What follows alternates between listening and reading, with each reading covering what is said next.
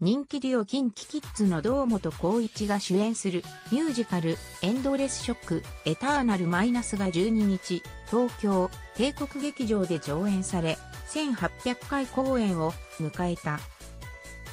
公演後の取材で心境を問われた光一は先ほどお客さんの前でも話しましたが1800回公演を本当に忘れててと笑いつつそしてこうやって報道陣の方にも毎回取材してもらって申し訳ないという気持ちが勝っちゃって。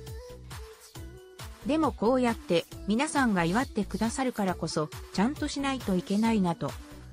改めて気が引き締まる思いですと感慨深げに語った。会見にはその他、上田達也、梅田彩香、冬からのエチオカ祐希、松崎祐介、寺西拓人、高田翔、インパクターズの椿大が、松井奏で、石川忠前田南里が出席。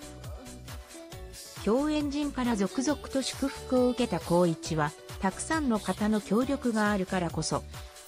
そこに感謝しなきゃいけないとした上で、常々、今、何ができるかということを模索しなきゃいけないし、これからもそうでありたいと言葉に力を込めた。今回、20年以上にわたって愛されてきた、光一主演のミュージカル、エンドレスショックを新型コロナウイルス対策を施したスピンオフ作品として上演。